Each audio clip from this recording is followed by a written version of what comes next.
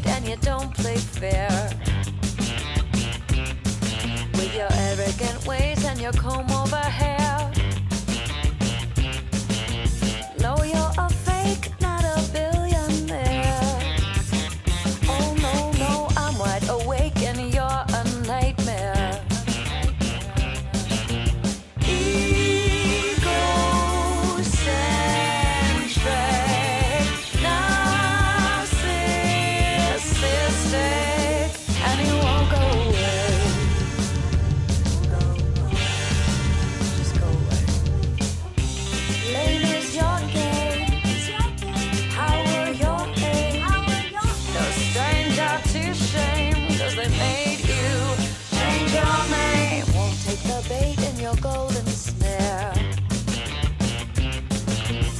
bound to take more than the lion's share.